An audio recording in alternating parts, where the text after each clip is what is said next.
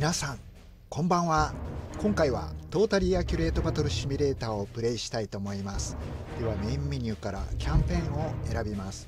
キャンペーン選択画面です。The Introduction を選びます。レベル選択画面です。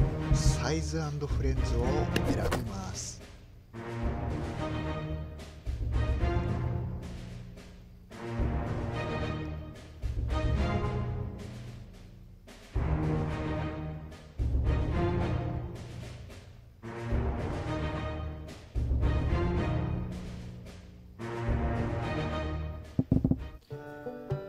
今回はサイズフレンズに対してプロテクター何体で勝つことができるかということを確かめてみたいと思います。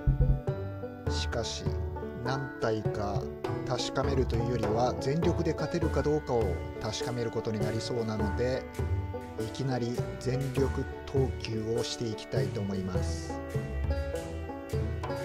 何体置けるでしょうか？全力で。予算内で。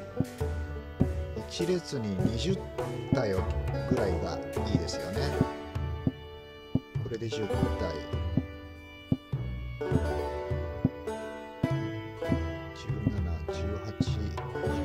17181920体。で2列目にさらに置いていきます。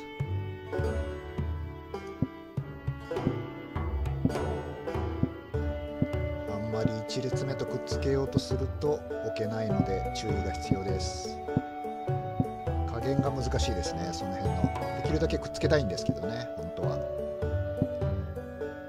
密集体系ですから。あーくっつけすぎた。あ35体しか置けないんですね。これで全力です。予想としましてはクラバーで勝てませんでしたのでプロテクターでも勝てないと予想してます。つまりまりと言いますか青チームの勝利ですね。このバトルも。では確かめてみましょう。青チームサイズフレンズ VS 赤チームプロテクター35体。バトルスタート。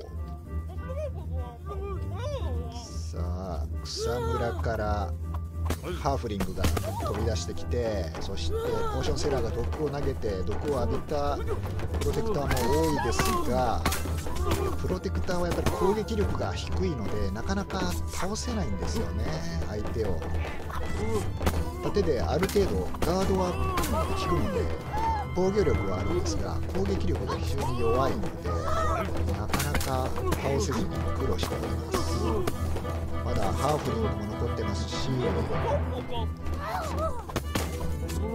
ハーベスターも残ってますねハーフリングもハーベスターも残っている状態なかなか対応対処できない状態ですねハーベス。ターとハーフリングに対してなかなか処理できない状態が続いております。プロテクター残りは1体だけ終わりましたね。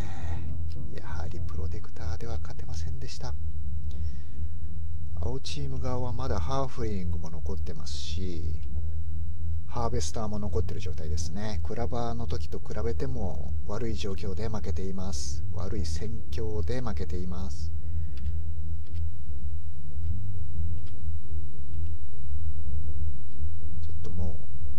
ハーベスターも毒をかなり食らっているので顔がよく見えないですね。ドヤ顔をアップにしたかったんですがドヤ顔がよく見えません。こっちに行けば見えるかなと思ったけどもうちょっと上に行けばいや結局見えませんね。あのくるくるが邪魔なんですよ。顔の前にくるくるが出るのでこれが非常に邪魔です。ポーションセラーはベストアングルを取るに際しても厄介で厄介な敵です。ベストアングルの敵でもあります。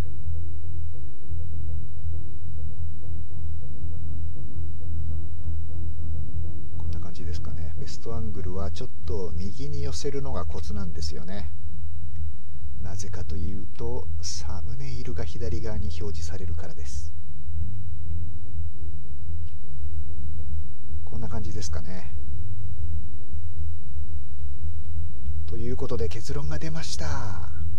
サイズフレンズに対してはサイズフレンズに対してはプロテクターのみで勝つことはできない。というのが結論です。というところで今回の動画は終わりにしたいと思います。続きはまた次回の動画でプレイしたいと思います。それではお疲れ様です。